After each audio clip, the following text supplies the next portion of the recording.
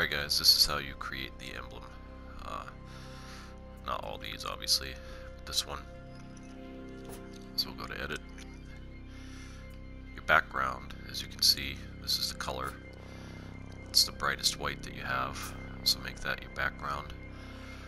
Looking at the top, going through all these, make sure it's on background. Once it's bright white, go to S1. Uh, everything has to be in order, you can't do them out of order. So your S1, symbol, is the one I have highlighted here. Um, it's not the fat one, which you can see some people choose this one on accident and it will be all screwed up. See how it looks? So you got to pick the one that's down lower and uh, it looks like that. Once you get that, this is your transform. So negative 5, negative 26, 156, and 12. So getting out of that, oh also, uh, the color that you're using is the brightest red that there is next to the yellow uh, for that as well.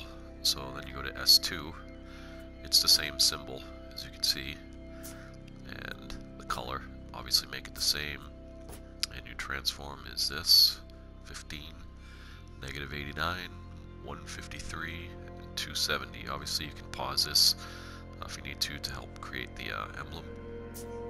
Excuse my uh, voice, by the way, I have a cold. I'm just trying to do this to make it easier for everybody uh, that joins the clan. So the symbol for this is that it's called a rook if you play chess um, next to the knight or the horse. It might be in a different spot on yours. Uh, you're going to want to make it bright yellow.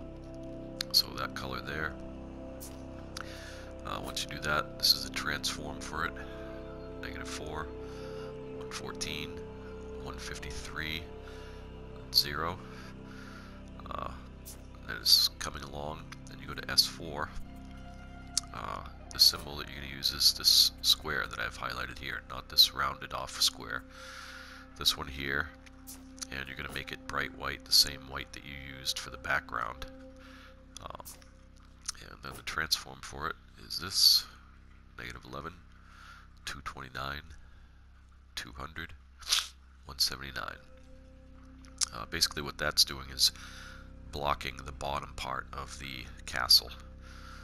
Um, and if you've been in order, your S5 is the same symbol that you used, a skinny one right there. Make it bright red, same red that you used. And this is a transform, negative 57, 195, 150, 194 and when you're done that's what it should look like. Uh, this is the outline that we use uh, for a while. We were using this one. Um, and once we once the knights won the last faction um, we all got this whoever was in the knights. So that's the one we use now. If you don't have that because you were not in it you can use any of them. Uh, we found that you know this one looked the best. And that's what we went with to show you why we use that. Uh, quickly, I'll try and go to